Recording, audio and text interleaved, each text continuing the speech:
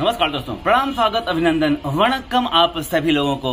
मैं अनिल पांडे, अहमदाबाद, गुजरात से आप सभी लोगों का स्वागत करता हूँ। लेकिन दोस्तों, मैं इस समय सिरड़ी में हूँ। आप देख पा रहे हैं पीछे स्लाइड में, मैं इस समय सिरड़ी में हूँ। होटल साई छत्र, जैसा कि आप लोगों को पता है कि पिछले एक महीने से हम यहाँ स्लाइड डाल रहे थे कि हमारा होटल सिरड़ी में एक प्रोग्राम होने वाला है और वो प्रोग्राम इसी होटल में हुआ है।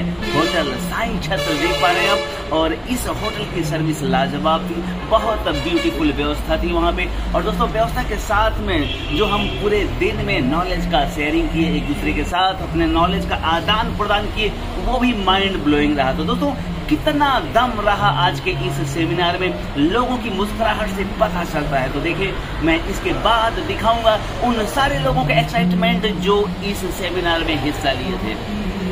दरअसल में कोई भी सेमिनार हो, कोई भी मीटिंग हो उसका मज़ा तो लास्ट में ही पता चलता है कि लोगों का एक्साइटमेंट लोगों की जो अट्रैक्शन है, लोगों का जो जोश है, वो कितना ज़्यादा है। तो दोस्तों, मैं इसके बाद आपको दिखाऊँगा उन लोगों का एक्साइटमेंट जो इस सेमिनार में भाग लिए थे।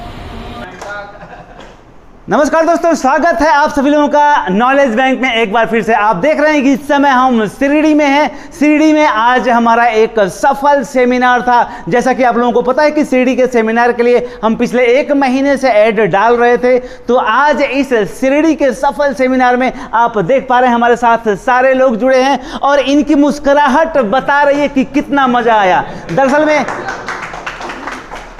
दरअसल में कोई भी सेमिनार, कोई भी ट्रेनिंग होता है तो मज़ा तो तब आती है जब इनके चेहरे पे मुस्कुराहट होती है और मुस्कुराहट में छुपा होता है ट्रेनिंग का रहस्य। अब इस एक दिन के सेमिनार में कितना मज़ा आया, आप इन लोगों के चेहरे से देख सकते हैं। बहुत ही खुश हैं सब लोग, बहुत ही मज़ा आई और ऐसा लगता है कि ये जो आज एक दिन का समय था, ऐसे पूरे चौबीस घंटे, अड़तालीस घंटे चलते रहते तो बहुत मज़ा आती, पर पॉसिबल ऐसा नहीं है। तो देखें, ये चेहरे हैं आज के के इस सेमिनार का आप कैमरा दिखा सकते हैं।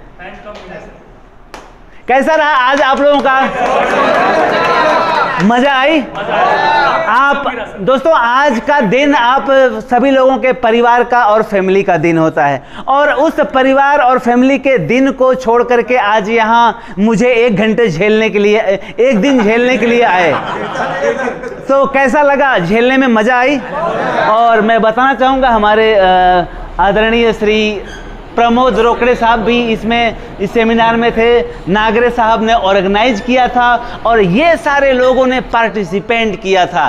तो दोस्तों, बड़ी खुशी मिलती है कि जब इस तरह से हम अपने नॉलेज को आप सभी लोगों के साथ शेयर कर पाते हैं। दोस्तों, कहते हैं ना कि गायंती देवाच किल गीत कानी ध्यानास्तुते भारत भूमि भागम, स्वर्गा पवर्गा दिवम मार्ग भूतम, भवंती भूय पुरुष सुरत्वाद जिस देश में पैदा होने के लिए देवता लोग तरसते हैं जिस वसुंधरा पे आने के लिए देवता लोग हमेशा राह देख करके बैठे रहते हैं इस वसुंधरा की उस पावन भूमि पर यदि हमारा जन्म हुआ है और यह जीवन इस भारत भूमि के काम आए इससे बड़ा सौभाग्य और कुछ हो ही नहीं सकता। तो